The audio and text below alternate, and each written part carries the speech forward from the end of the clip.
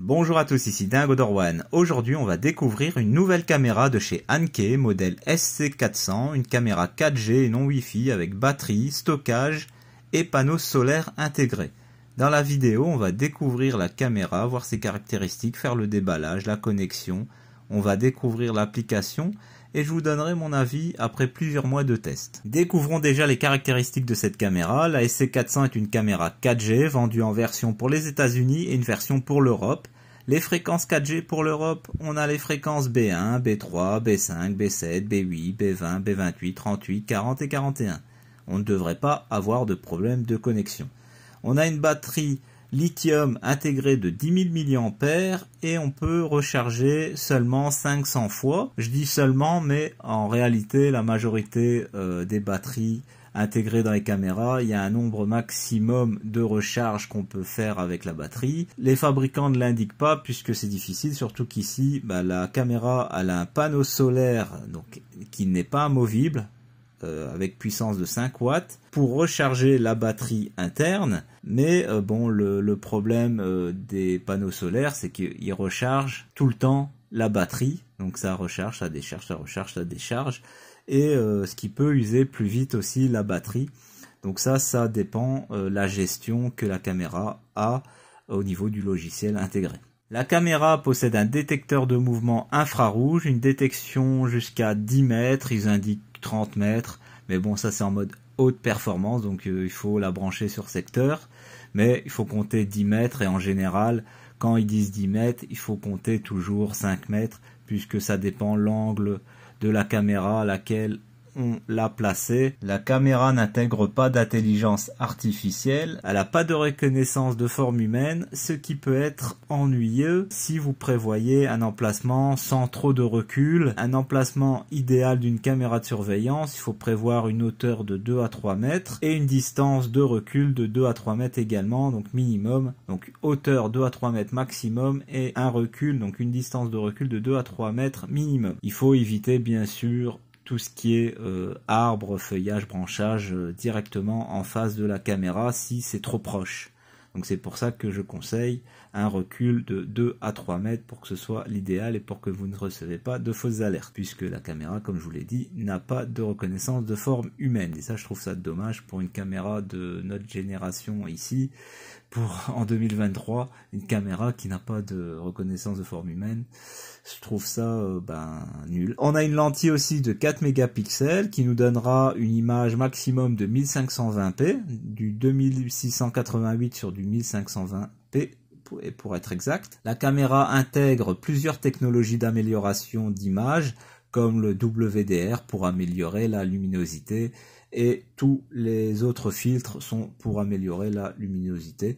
Donc c'est pour améliorer bien sûr la qualité d'image. Anke nous indique que la caméra a un codage vidéo en H265+, ce qui permet d'alléger la bande passante, avoir une meilleure qualité d'image, de réduire de moitié le stockage d'une vidéo. Donc ça c'est bien, c'est contrairement au H264 bah, qui est l'ancienne génération et surtout en 1520p. En H264, c'est bien qu'on a une image en 1080p ou 720p, mais bon, c'est toujours mieux quand on est au-dessus de 1080 d'avoir le codage en H265. La caméra possède également un stockage interne de 8 Go, mais seulement 6 Go sont disponibles pour l'enregistrement vidéo. On peut y insérer une carte micro SD maximum aussi de 256 Go, donc elle a un stockage interne plus carte micro SD, et ça c'est sympa parce que certains mettent un stockage interne, mais enlève la possibilité de mettre une carte micro SD. La caméra est aussi compatible OnVIF, ce qui permettra d'enregistrer des vidéos dans un stockage cloud personnel, hein, d'utiliser par exemple, moi je possède un Synology, donc je vais tester pour voir ça fonctionne. On peut aussi utiliser un boîtier NVR ou DVR, on a aussi un logiciel PC, donc on va regarder à ça. La caméra possède un micro et un haut-parleur, elle a aussi une sirène d'alarme, elle n'est pas motorisée. On va déjà faire maintenant le déballage, puis on va regarder les dimensions de cette caméra qui a l'air énorme. Allez, passons au déballage. Comme vous voyez, on est sur une boîte en carton basique. On a juste une référence de la part d'un quai, un petit autocollant sur la boîte en carton, avec la référence du modèle i81HF. Donc c'est le modèle exact de la caméra, sinon bah, elle est connue sur le site de chez Anke sous le modèle SC400. Allez, dans la boîte, on voit qu'ils nous fournissent un câble Ethernet, seulement de 1 mètre, hein, ça ne sert pas à grand chose. Euh, il faut quand même des extensions de câbles. Le manuel,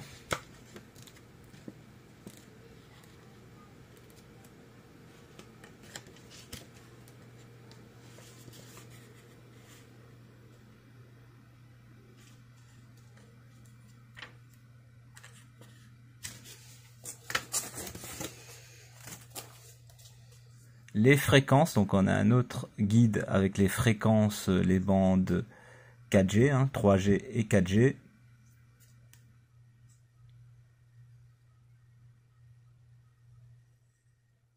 On retrouve bien sûr tout ça en français.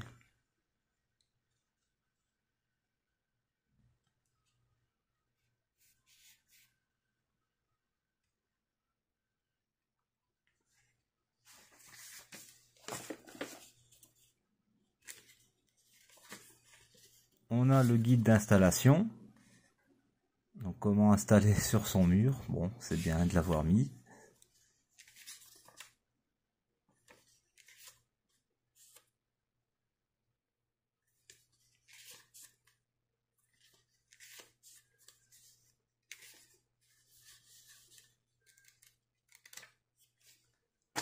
On a une clé parce que la caméra a besoin d'une clé spécifique pour accéder à la carte SIM et à la carte micro SD.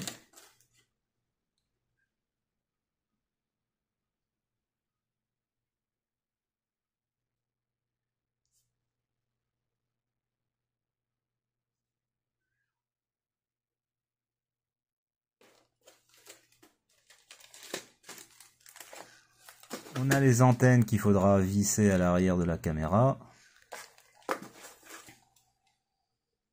deux vraies antennes. Donc ça, c'est bien. Ça nous le montre que c'est des vraies antennes. Pas une euh, seulement et l'autre, c'est une décoration. On a le support mural. Donc c'est bien en métal. On a les vis de fixation.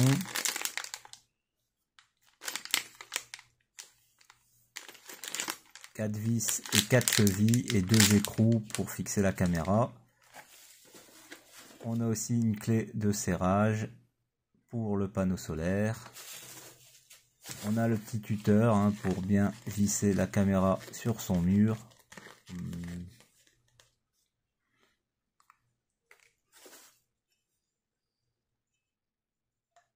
Donc le support, euh, ben, on a un cache-câble hein, pour euh, cacher les câbles si on veut introduire les câbles dans son mur via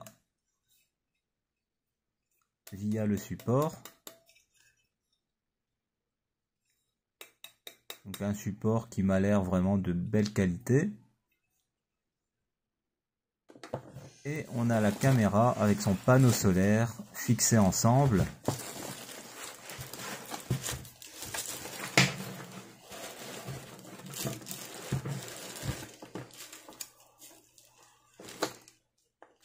caméra était bien entourée de protection en mousse, ça c'est bien pour le transport, hein, comme ça on l'endommage pas. Et la caméra qui est vraiment balèze, hein, elle m'a impressionné au déballage. Là on voit les, vis spécifiques, hein, il faudra utiliser la clé. Là on voit bah, la lentille et le capteur de mouvement. Au-dessus la fixation du panneau solaire. On voit les embouts ici pour fixer les antennes. Le panneau solaire qui a l'air sympa et de bonne qualité. Et on peut tourner le panneau solaire pour l'orienter correctement lors de la pose. Donc ça c'est bien mais dommage qu'on ne peut pas enlever le panneau solaire de la caméra pour le placer ailleurs. Dans la boîte, on n'a rien d'autre. Juste un petit sachet pour l'humidité, sinon euh, rien d'autre.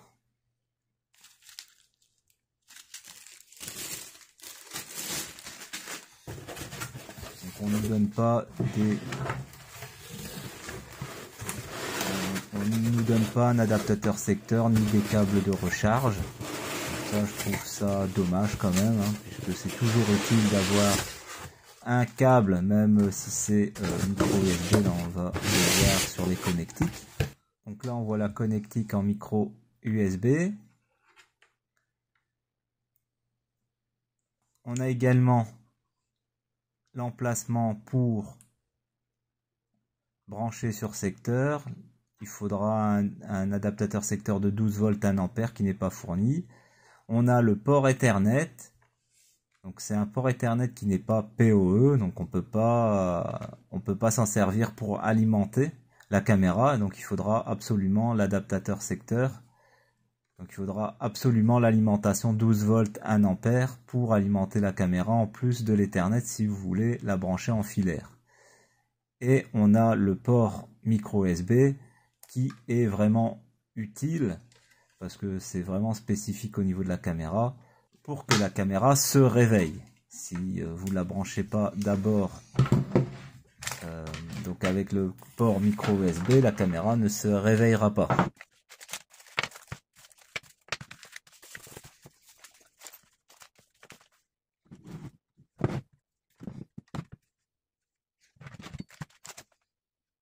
Niveau des dimensions, la caméra fait 25 cm si je prends juste l'extrémité au niveau du panneau et au niveau de l'antenne, donc c'est 25 cm.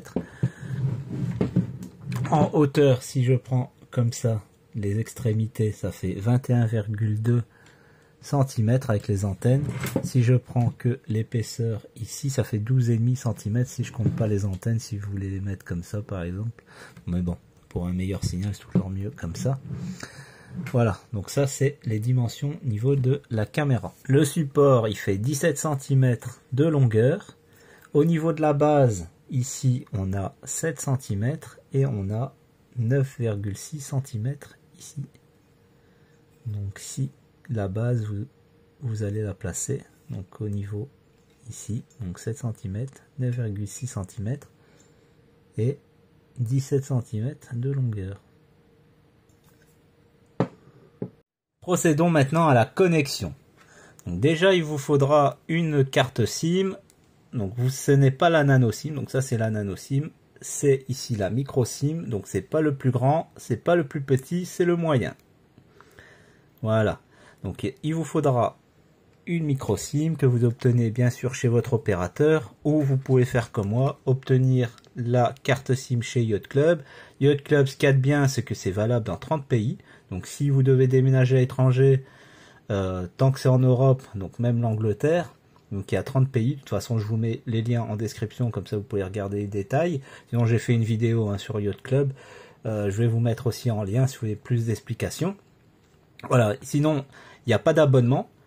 Donc vous payez, euh, vous payez, vous pouvez payer, la carte SIM peut être valable un mois, trois mois, six mois, un an. Donc ça, c'est vous qui, voyez. Donc moi, je prends à l'année, comme ça, je suis tranquille. Euh, si vous prenez au mois, faites attention parce que il faut décocher, faut décocher une case pour euh, le renouvellement automatique.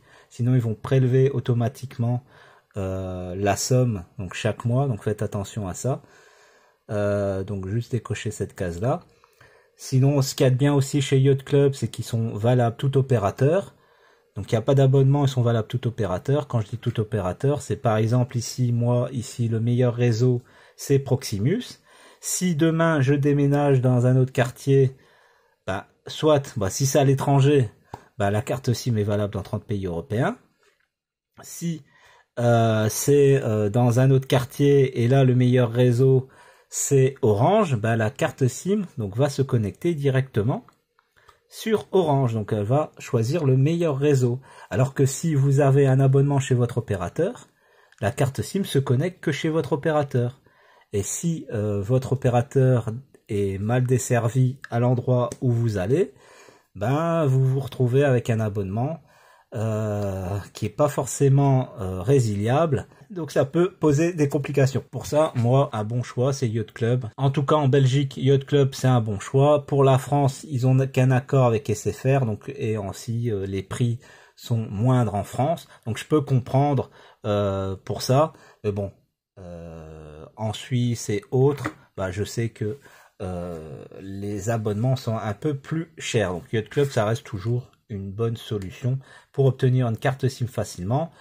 Euh, sans code PIN, hein. c'est une carte SIM spécialement faite pour les caméras de surveillance. Donc il n'y a pas de code PIN. Avec votre opérateur, vous allez sûrement devoir rentrer la carte SIM dans votre téléphone pour désactiver le code PIN et ensuite insérer la carte SIM dans la caméra. Donc aussi, si vous avez une carte SIM de chez votre opérateur, désactivez le code PIN la caméra possède également une mémoire interne de 8 Go. 8 Go, mais en réalité il reste que 6 Go, donc c'est pour le stockage des vidéos directement dans la caméra.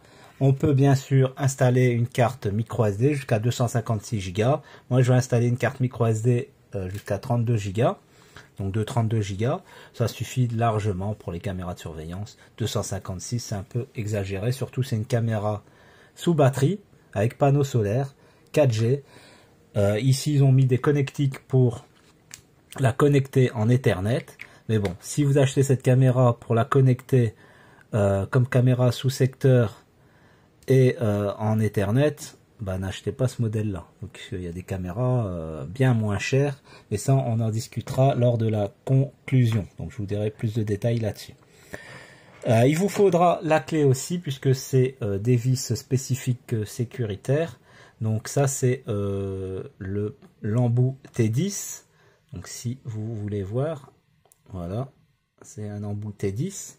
Et de l'autre côté on a un embout T20. Voilà. Il vous faut les deux antennes qu'on va connecter. Le support, ça c'est par la suite, on va le, je vais le visser sur mon mur. Et ici, vous avez la clé, donc c'est juste pour vous montrer que la clé ici, donc la clé classique sert juste ici pour le serrage d'ici. Donc ça c'est pour la fixation murale. La première chose à faire avant d'installer la carte SIM et la carte micro SD, c'est de mettre les antennes. Donc les antennes, vous avez les caches ici rouges que vous devez les enlever et on va tout simplement visser les antennes à la caméra.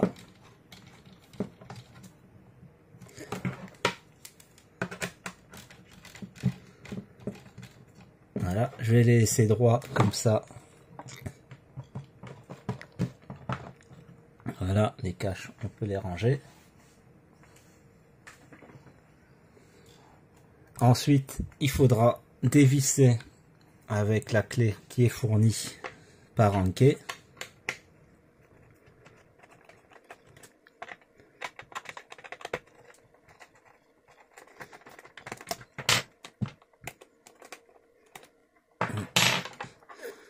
Le cache a une petite sangle de sécurité. Donc là, on voit, j'ai essayé de vous montrer. Donc là, on voit le bouton on-off l'emplacement de la carte micro SD, le bouton de réinitialisation et l'emplacement de la carte SIM. Donc ils mettent micro SIM. Hein. Donc euh, voilà, c'est le moyen. C'est pas le plus petit, c'est pas le plus grand, c'est le moyen. Et ici, si vous demandez c'est quoi ici cette connectique, c'est pour une éventuelle reprogrammation de la caméra. Euh, donc c'est pas pour nous, c'est pour en usine ça. Donc euh, ça c'est pour une reprogrammation de la caméra. On va d'abord insérer la carte micro SD.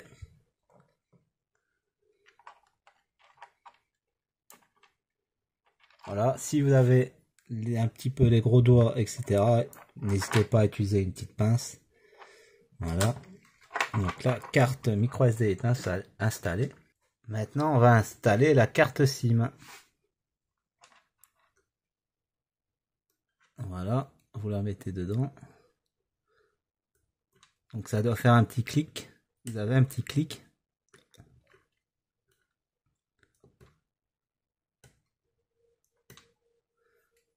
Donc il y a un petit clic. Hein. Donc euh, euh, Voilà. Une fois que la carte micro SD et la carte SIM est bien installée, il vous faut pour activer la caméra absolument un câble micro USB et un adaptateur secteur de 5 volts 2 ampères. Donc normalement vous pouvez utiliser l'adaptateur secteur de votre téléphone. Le câble micro USB, normalement vous devez encore en avoir chez vous, hein, puisque euh, maintenant, même si les smartphones sont en, type C, normalement vous devez avoir encore un câble qui doit traîner chez vous, sinon ben, il vous en faudra un. Donc je branche, vous voyez ça s'allume ici. Une chose que je dois faire c'est activer la batterie, puisque la batterie est autonome de la caméra. Voilà, donc euh, c'est vraiment à part. Donc euh, je peux éteindre, ça changera rien. Là j'active, donc c'est vraiment, euh, on va dire, c'est pas une batterie de secours, c'est une batterie qui est indépendante. Ils ont préféré faire ça pour, si vous désirez toujours gérer la caméra sous secteur. Bon, c'est bien et pas bien. Sur du long terme, ça peut être très bien, puisque bah, si les batteries sont usées, pour euh, démonter et tout ça, changer batterie, c'est pas forcément évident, donc tout le monde ne peut pas le faire. Euh, bah là, la caméra n'est pas bonne pour la poubelle, on peut toujours l'alimenter sous secteur. Voilà. Allez, là c'est allumé. Donc euh, là, la caméra ne me dit rien. Donc une fois que vous avez allumé, il faudra aussi que vous téléchargez l'application sur le Play Store ou disponible aussi sur l'Apple Store si vous avez un iPhone. Disponible sur le Play Store de Google. Euh, vous téléchargez l'application, il vous faudra vous créer un compte via votre adresse email. Une fois que votre compte est créé, vous avez accès à la caméra on voit que la LED clignote rapidement en donc elle était en rouge, elle a clignoté rapidement en bleu, puis elle a clignoté un petit peu lentement. Donc nous ce qu'on va faire pendant ce temps-là, c'est ajouter un appareil. On ajoute un appareil. Donc il demande de scanner le code QR qui se trouve derrière la caméra. Donc ce qu'on va faire. Voilà, j'ai scanné le code QR, il reconnaît mon appareil, je fais ajout. Donc il me met euh, ajout terminé, donc suivant. Donc la caméra est enregistrée, donc parfait. Donc je vais changer le nom. Je vais mettre euh, euh, Anke 4G. Ici le nom n'a pas vraiment d'importance, hein. vous mettez ce que vous voulez, puisque c'est pas compatible Google ni Alexa. Donc sur ça, on s'en fiche un peu du nom, c'est juste si vous avez beaucoup de caméras. Voilà. Euh, là, euh, si les lois et les règlements en vigueur dans votre région vous le permettent, vous pourrez activer le microphone de l'appareil pour capturer les sons. Donc si vous voulez activer le micro et le haut-parleur, donc vous en servir aussi un petit peu de parlophone. Voilà. Hop. Et là, on a la caméra, on a accès à la caméra. Donc normalement la batterie est chargée, je peux, donc ça ça sert juste à la connexion normalement, on peut débrancher. Donc aussi un petit détail, donc comme on va pas utiliser les connectiques, donc euh, ce serait bête que vous achetez cette caméra pour utiliser en filaire, donc ce serait un petit peu bête. Je vous conseillerais, donc et même c'est Anke il le conseille, c'est euh, ici vous voyez les caches, ils s'enlèvent assez facilement donc ils peuvent tomber facilement. Si j'arrive à mettre le cache de retour.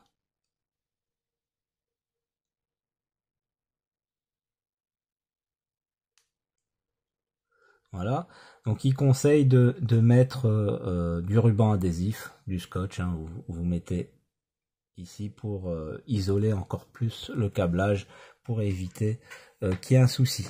Donc c'est bizarre, elle s'est éteinte. Donc je vais voir si on sait se connecter à la caméra. En tout cas la LED elle s'est éteinte. Donc là ça s'est rallumé euh, rouge. Donc ça, ça doit être que la caméra est mise sur un mode spécifique. Donc on va voir sur quel mode la caméra. Donc voilà, on est bien connecté à la caméra. On est en direct, il n'y a pas de décalage, donc ça c'est bien. Donc ici, donc on va vérifier dans les paramètres, je vais cliquer ici dans les paramètres. Euh, le fuseau horaire, on va le changer. Donc ici, signal faible. Donc ok. Donc, il dit que mon signal est faible. Donc il est mis sur euh, bah, en Chine. On va regarder. Euh, normalement c'est plus plus 1. Plus 1. ici, Bruxelles, Copenhague, Madrid, Paris. Je sélectionne. Voilà, c'est changé. Maintenant, le format de la date, on va changer aussi. On va mettre en ici jour, mois, année. Voilà, parfait, je valide. Parfait, c'est changé. Euh, micro, donc pourtant on l'avait activé, donc on va la réactiver ici. État du stockage, voilà la carte, euh, donc normale, la carte mémoire à l'intérieur, elle est normale. Et euh, la carte micro SD que j'ai installée, on va la formater. Euh, initialiser, donc on va faire initialiser. Après initialisation, tous les fichiers seront supprimés. bah oui. Hein. donc on formate la carte micro SD.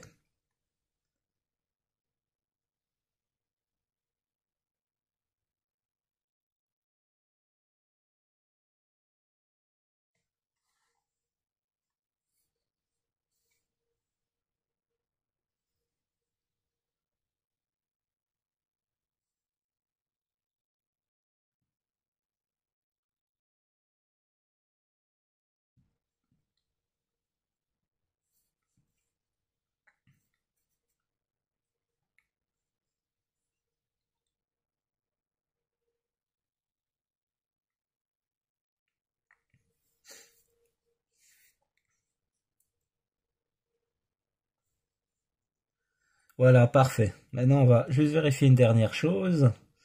C'est euh, le mode de consommation de la caméra. Donc là, c'est mis en mode de réactivation. Donc,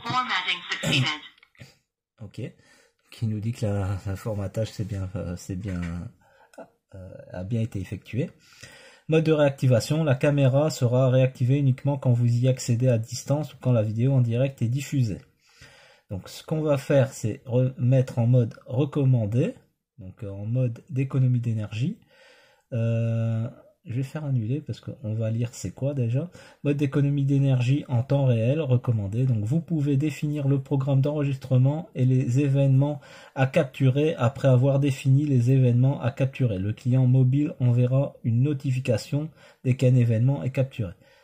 Donc mode pleine consommation, il n'est pas recommandé d'utiliser le mode pleine consommation pendant une longue période. Est-ce que le mode euh, pleine consommation, c'est le mode sous-secteur. Donc c'est pas le mode batterie. Donc on va mettre mode d'économie d'énergie. Vous devez redémarrer l'appareil pour activer le nouveau mode de consommation d'énergie. Donc on fait confirmer, on va redémarrer. Donc ça se redémarre automatiquement ici. Donc normalement une fois qu'on a fait tout ça, on peut refermer la trappe et on peut faire l'installation sur son mur.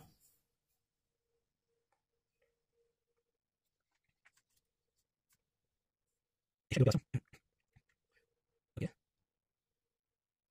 On va voir si euh, ça va ou pas. On va vérifier si c'est activé déjà.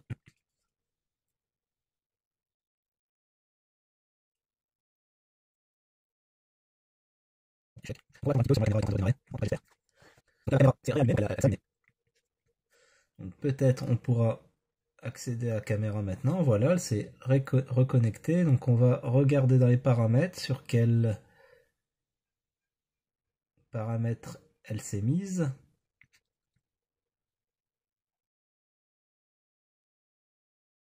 J'entends la caméra, je sais pas si vous entendez, mais elle fait un petit bruit de vibration, on dirait.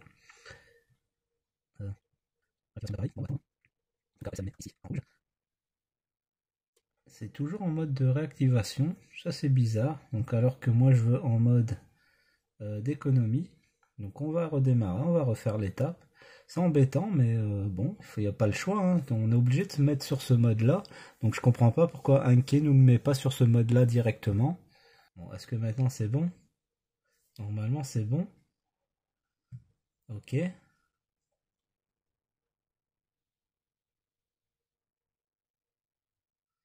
Bah, parfait. Normalement tout est en ordre, tout est correct. Donc on va vérifier. Mode Donc mode d'économie d'énergie en temps réel, parfait. Donc une fois qu'on a fait tout ça, bah maintenant on peut installer sur son mur. Il reste le microphone, ça se désactive à chaque fois, ok. Euh, état du stockage, c'est bon, tout est en normal. La version de l'appareil, on va regarder s'il n'y a pas une mise à jour. Il n'y a pas de mise à jour. Cryptage de l'image. Donc là, je pense qu'on devra le désactiver si on veut. Il y a un logiciel PC apparemment qu'on doit télécharger. On va le tester aussi. Et il y a également euh, la caméra est on vif, donc on peut le connecter soit à des euh, boîtiers NVR pour des enregistrements externes ou à NAS, comme moi j'ai un NAS. Allez, maintenant moi je vais l'installer sur mon mur. On va regarder, je vais vous donner les dimensions ici de la caméra. Je vais refermer la trappe bien sûr. Hop, une fois que tout est fait, on referme la trappe. Je vais regarder aussi l'état de la batterie, on va regarder ça. Au niveau de la batterie.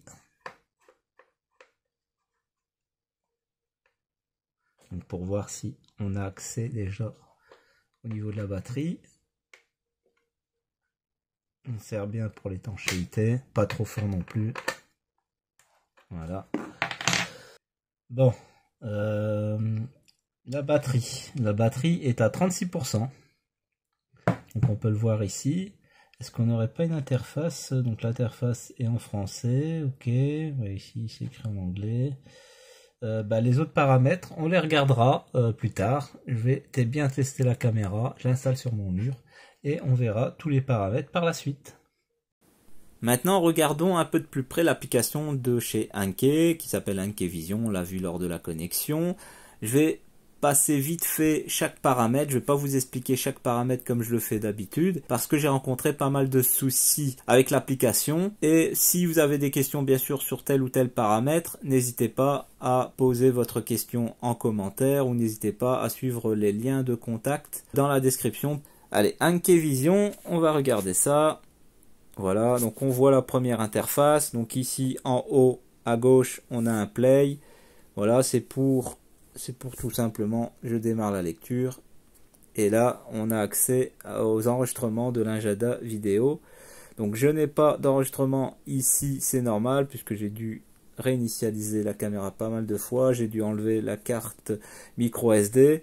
Euh, je peux sûrement retrouver, voilà, peut-être euh, à partir du 15, il y aura peut-être des enregistrements que j'ai fait. Mais vous voyez, de toute façon, les enregistrements vidéo, ben, ne s'enregistre pas, on n'a pas accès.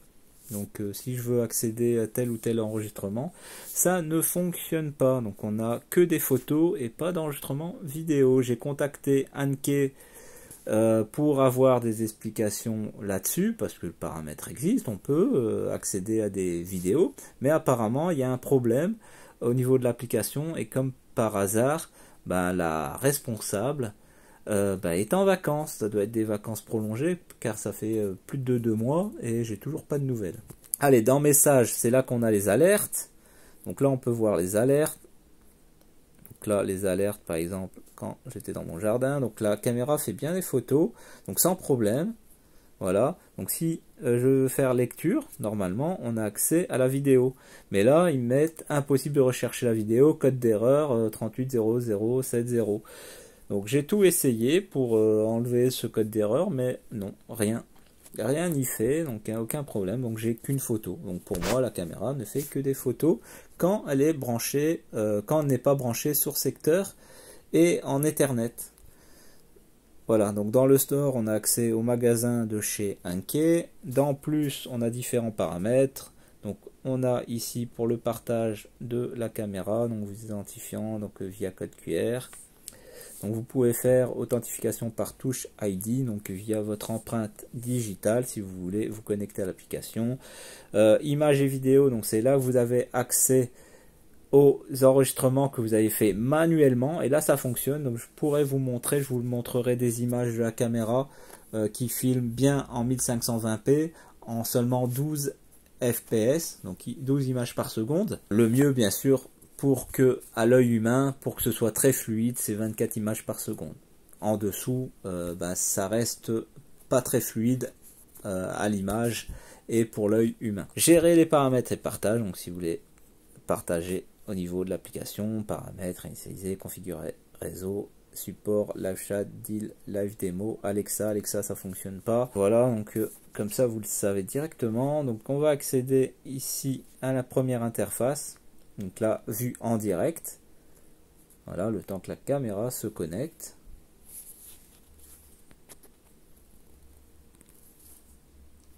Voilà, on est connecté.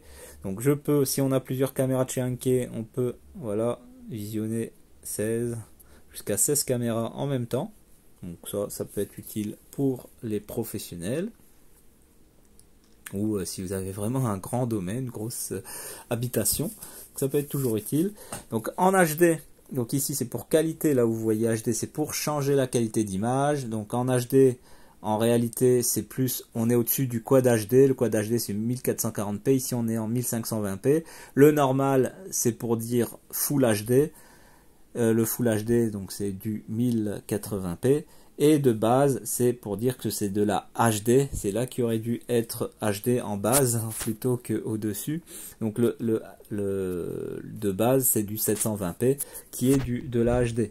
Donc euh, au niveau de l'interface, bah, on se rend compte que ben, y a des modifications qui doivent être faites qui n'ont pas été faites puisque ça sert aussi pour euh, leur autre caméra. Et quand on prévoit pas ben, de changer l'interface pour de nouvelles caméras, c'est pas très bon signe aussi. Donc ici je peux faire play pause. Voilà, ici on a un zoom, donc on peut zoomer jusqu'à 8 fois. Ensuite ici on peut euh, elle a un système de réduction de bruit au niveau du micro euh, pour réduire le bruit du vent, etc. au niveau du micro. J'ai essayé de vous faire le test du haut-parleur, mais malheureusement le haut-parleur sortait un son trop faible. Je me suis rendu compte que c'était pas un problème matériel puisque la sirène d'alarme fonctionne bien, elle sort bien du 100 décibels. Je vais vous faire écouter euh, la sirène d'alarme, ça vous allez vous rendre compte par vous-même. Mais au niveau du haut-parleur, le micro bah, parfois fonctionne, parfois fonctionne pas. Donc il y a un vrai problème matériel dans la caméra, un problème logiciel d'après moi. Voilà. Donc vous voyez ici, donc ça c'est pour retourner la caméra. Il n'y a pas grand intérêt puisque cette caméra normalement ne peut pas être retournée puisque le panneau solaire n'est pas amovible. Donc ça ce serait ridicule de mettre la caméra à l'envers. Ensuite on peut faire une photo instantanée, faire une vidéo voilà, vous pouvez faire une vidéo et une photo en même temps, bien sûr. Voilà. Et il n'y a que les enregistrements manuels. Donc c'est comme ça que je, peux vous montrer des vidéos, donc des images que je vais vous montrer en conclusion, des images de la qualité d'image, comme ça vous allez voir au niveau de la fluidité, etc. En nuit, en jour, je vais vous montrer ça en conclusion. Le haut-parleur ici. Voilà. Ensuite, vous avez ici, vous avez ici voilà, donc là je parle, la caméra est à côté de moi. Euh, donc pour activer le micro, donc euh, c'est vrai qu'on est que à côté, le micro prend bien, mais quand est extérieur, la caméra est en hauteur, ben ça ne fonctionne pas. Ça ne fonctionne pas très bien en tout cas. Donc là, vous voyez, a d'autres paramètres, mais ça c'est pour les caméras bon, motorisées, pour les caméras qui ont de l'éclairage, etc. Cette caméra n'a pas d'éclairage non plus. Là, ici, vous voyez, ici, c'est pour activer la sirène d'alarme. On clique sur les trois petits points. Donc, euh, vous pouvez rajouter une caméra. Euh, vous pouvez partager la caméra. Donc, vous avez paramètres. Vous pouvez ajouter euh, la caméra aux favoris. Donc, ça va rajouter un raccourci comme une application sur votre téléphone. Paramètres. Donc, dans paramètres, donc vous avez ici la première interface pour modifier les paramètres. Donc, ici, je peux changer le nom. Euh, mode de consommation d'énergie, donc on l'a vu lors de la connexion, donc c'est mis sur euh, mode de réactivation. Et là ça ne sert à rien puisque la caméra est tout le temps en veille. Et pour la réveiller il faut que vous vous connectez à l'application. Sinon la caméra ne filme rien, n'enregistre rien et vous enverra pas de notification. C'est pour ça que le mode d'énergie est conseillé et ne mettez pas en pleine en mode pleine consommation sinon votre batterie euh, ne tient même pas une demi-heure. Euh, puisque la caméra va fonctionner euh, ben, tout le temps. Donc il faut la mettre sous secteur si vous, voulez mettre le mode pleine consommation. Ensuite ici on peut régler le fuseau horaire, etc. Date, heure, activer une notification, euh, le micro, état du stockage, donc là c'est pour régler, on l'a vu lors de la connexion, hein, puisque je vous montre aussi la connexion au niveau euh, du stockage, hein, comment euh, rajouter et formater la carte micro SD, cryptage de l'image, donc cryptage de l'image, donc si vous, voulez utiliser Alexa et tout ça, normalement, on doit désactiver le cryptage de l'image. Mais comme Alexa ici, ça fonctionne pas, j'ai enlevé le cryptage. Bah, ça ne fonctionnait toujours pas. Normalement, on enlève le cryptage et on peut accéder à Alexa.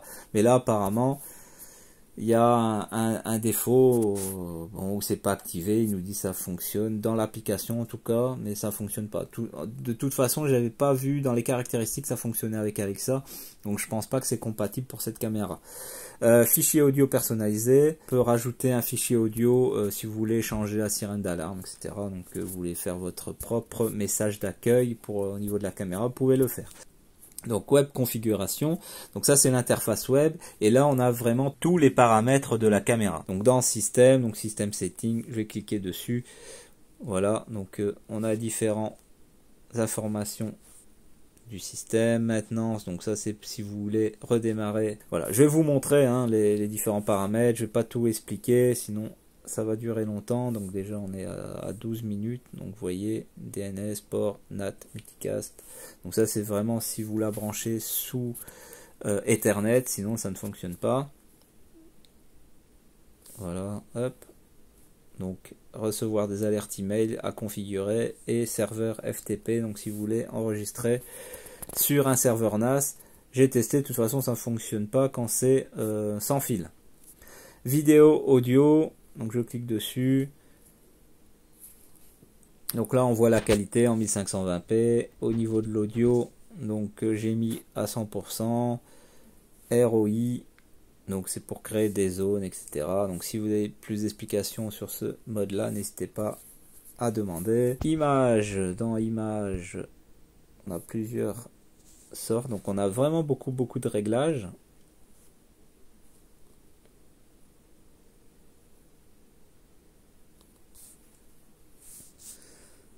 Voilà, donc euh, hop. Smart Event, on n'a pas accès normalement, ça fonctionne pas. Donc opération invalide puisque la caméra n'a pas euh, d'intelligence artificielle. Euh, storage ici, j'étais ici. Voilà, donc ça c'est pour accéder au stockage. Donc là on voit HDD2, donc ça c'est le stockage interne. Il y a 5,77 de stockage restant sur les 8 Go. Le cloud, donc si vous voulez créer votre cloud personnel, hein, c'est pas un cloud de chez Anke, hein, c'est votre cloud personnel que vous pouvez euh, paramétrer bien sûr. Et proactive mode, euh, bah là euh, j'ai rien. Voilà, donc on a fait le tour des paramètres ici, donc vous avez vu. Donc les photos et vidéos, donc comme on l'a vu, c'est dans plus images et vidéos, et là vous avez accès aux photos et vidéos que j'ai fait. Voilà, voilà, hop, on a vu ici en détail. Allez, passons à ma conclusion. Comme on l'a vu, la caméra Anke était superbe sur papier. Malheureusement, durant mes plusieurs mois de test, j'ai rencontré pas mal de problèmes. Déjà, la caméra a un gros problème de gestion de sa batterie. On a une batterie qui se décharge extrêmement vite la caméra m'envoyait régulièrement des alertes de batterie faible durant la nuit. Et si la caméra se déchargeait complètement, je devais la recharger sous secteur pour la réactiver. Donc c'est embêtant une caméra sous batterie qui se décharge et qu'on est obligé de réactiver manuellement puisque je devais prendre mon câble USB pour aller donc grimper à l'échelle, prendre ma batterie, ma powerbank ou euh, la brancher sur secteur donc prendre une rallonge de câble et tout ça parce qu'à l'endroit où je l'ai placé, je n'ai pas de prise. Et donc c'est vraiment très très ennuyeux. Quand j'ai reçu la caméra, on l'a vu lors de la phase de la connexion, le fabricant, donc avec mon expérience, un fabricant qui met la caméra sur le mode veille, quand on la reçoit, avec mon expérience, je sais que c'est un mauvais signe. Pour rappel, le mode veille permet juste de se connecter à la caméra pour visionner en direct. La caméra n'enregistre pas et n'envoie pas d'alerte. Deuxième problème avec cette caméra que j'ai rencontré, c'est les enregistrements vidéo de surveillance qui ne sont pas accessibles depuis l'application. La caméra ne fait que des photos. J'ai essayé de résoudre le problème, regarder les paramètres s'il y avait une solution, mais rien. Et comme par hasard, la responsable de chez Inke est en vacances. Ça doit être des vacances de longue durée car ça fait euh, au moins trois mois et j'attends toujours qu'on trouve une solution. Je vais vous montrer quand même des captures vidéo de la caméra en jour et en nuit que j'ai pu récupérer manuellement en faisant des captures vidéo en direct. Mais impossible de vous montrer des vrais enregistrements de capture vidéo de mouvements que la caméra a capturé elle-même.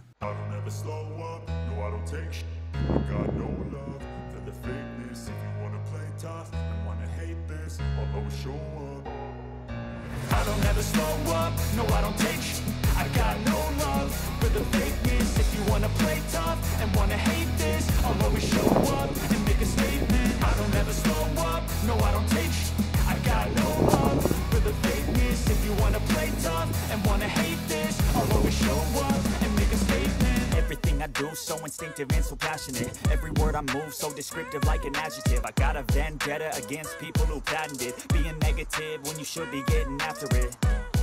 I got facts over facts over tracks, this and that Spitting slow, spitting fast, I could roast, I could gas Think I'm okay at last, but I don't know if that can erase all the past And the pettiness, a reflection of the emptiness. Hilarious, you think you're with my time, you're delirious. Mysterious, because you hide behind a fake exterior. Inferior, you know I'll always be a bit superior. Get off of me, this ain't no humble brag. I want you to hear words, you can say them back. I want you to feel free from the chains that last. And to believe in what you got, it was built to last, yeah now that I've been put through I never got anyone's help. I had to do it all myself. I don't ever slow up, no I don't take sh. I got no love for the fakeness. If you wanna play tough and wanna hate this I'll always show up and make a statement. I don't ever slow up, no I don't take sh. I got no love. For the fakeness If you wanna play tough and wanna hate this I'll always show up and make a statement. Gonna learn the consequence of being incompetent. Mental health is confidence, dreams and some honestness I'm not here to save the day, that's for you to take away. I could play a million mind games, but instead I say something not Maintenant on va effectuer un test de latence pour voir s'il y a beaucoup de latence avec la caméra. Donc là je vais sortir pour voir et je vais vous dire quand je suis dehors et vous allez voir ce qui est affiché euh, bah, à l'écran si vous me voyez ou pas encore voilà, là je suis sorti. Hop, je marche jusqu'au fond du jardin.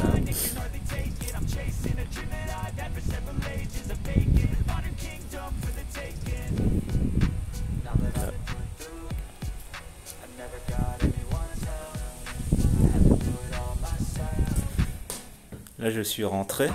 Donc là il n'y a pas vraiment beaucoup de latence, donc c'est un bon point pour euh, donc euh, c'est parfait. La latence est vraiment très raisonnable. Allez, troisième problème que j'ai rencontré, c'est le parlophone. On a bien un micro et un haut-parleur, mais malheureusement, au départ, je pensais que ça ne fonctionnait pas, mais je suis monté sur mon échelle et j'ai fait le test du haut-parleur. J'ai constaté que le haut-parleur fonctionnait, mais le son était tellement faible que c'était impossible d'entendre. Le micro également est défectueux et ne capte pas bien la voix, donc je ne peux rien vous faire entendre puisqu'on n'entend rien. Et euh, bah, les voix sont, euh, sont même pas captées, donc euh, c'est très difficile de vous montrer un truc qui ne fonctionne pas. quatrième problème, l'application. Au niveau du visionnage en direct, je n'ai rencontré aucun problème, parfois des lenteurs de connexion, mais sinon aucun problème. En ce qui concerne les paramètres, l'application a une, première interface qui est simplifiée, mais qui ne sert pas à grand chose puisqu'on n'accède pas aux paramètres euh, directement. La caméra cache une autre interface une interface qu'ils ont appelée une interface web pour accéder à tous les paramètres, mais qui sont bien trop compliqués pour la plupart d'entre nous est bien trop long d'accès car une reconnexion est faite à chaque fois que l'on veut modifier un paramètre ou accéder à un paramètre. En résumé, on a une application qui est basique avec un gros problème d'optimisation sans compter qu'on ne peut pas accéder aux enregistrements vidéo. Et cinquième problème, impossible d'accéder à la caméra via mon NAS. J'ai testé, j'ai tout essayé mais impossible d'accéder via mon NAS, donc un NAS Synology donc qui est bien compatible puisque eux-mêmes ils le disent. Donc impossible de créer un stockage cloud, de créer un stockage personnel via la connexion 4G. Et le logiciel PC ne fonctionne pas non plus. En résumé, la caméra de chez Anke modèle SC400 est une caméra qui coûte quand même 200 euros avec une batterie, un panneau solaire, une connexion 4G qui ne sert à rien. Là vraiment ça ne sert à rien car la caméra pour fonctionner correctement doit être mis sous secteur, branché via le câble Ethernet. Attention, la caméra n'est même pas PoE, donc PoE pour Power over Ethernet, donc on ne peut pas l'alimenter via le port Ethernet. On doit donc la brancher sous secteur et l'alimentation n'est même pas fournie. On doit obligatoirement la brancher sur secteur puisque tout le reste est défectueux et on, ils nous fournissent même pas l'alimentation ni le câble micro USB pour la première connexion. Caméra des dimensions énormes, elle est impressionnante mais pour 200 euros se retrouver à une caméra filaire, une caméra non motorisée, une caméra sans nouvelle technologie, pas d'intelligence artificielle, pas de cloud euh, payant, hein, mais qui est même pas en option, qui est toujours une sécurité supplémentaire. Avec cette caméra, j'ai eu l'impression qu'on a rajouté une batterie et un panneau solaire sur une caméra des années 80. Bien sûr, j'exagère un peu car on a quand même une bonne réception des notifications dès qu'il y a un, un mouvement et une image vidéo de qualité ce qu'on ne pouvait pas avoir bien sûr dans les années 80. Mais pour 200 euros, se retrouver quand même avec une caméra filaire qu'on nous vend soi-disant entièrement sans fil, ce n'est pas correct. Surtout qu'aucune mise à jour pour rectifier ces problèmes n'a été effectuée par Anke. Une caméra filaire extérieure de qualité dans cette gamme ne vaut pas plus de 80 euros. Cette caméra m'a fait rêver par son aspect, mais m'a vraiment déçu en utilisation. J'ai l'impression que Enke a également abandonné ce modèle de caméra car quand je vais sur la page internet, on remarque qu'ils ont modifié l'image. Donc ils ont modifié l'image de la caméra. Ils ont mis un autre modèle. Euh, je ne sais pas si c'est une erreur volontaire ou involontaire, mais en tout cas, ils ont mis à peu près le même modèle. Ici, on voit que là, la caméra a un panneau solaire qu'on peut retirer si on le souhaite, contrairement à ce modèle ici, qu'ils ont affiné le modèle. J'espère qu'également ils modifient tout le reste, pas que l'apparence, parce que c'est facile de modifier l'apparence, mais modifier la technologie interne pour que ça fonctionne correctement, ça c'est une autre histoire. Si vous avez encore des questions, n'hésitez pas, la chaîne et le blog ont été créés pour aider, tous les liens se trouvent dans la description. Comme d'habitude, merci aux anciens d'avoir regardé, commenté, liké. Et un grand merci aux nouveaux. Donc un grand merci d'avance aux nouveaux pour vous être abonnés. Moi je vous dis à la prochaine, c'était Dingo Dorwan. Caught up in a daydream, I beat my mind up there almost daily. It's how I pass time, no opinions safely. It's how I understand what I want in this place, Cause everybody wanna tell you bad things. What could go wrong, what fame brings But success is a finicky thing. And if you ain't sure, no, it'll never be I don't wanna let myself down myself down.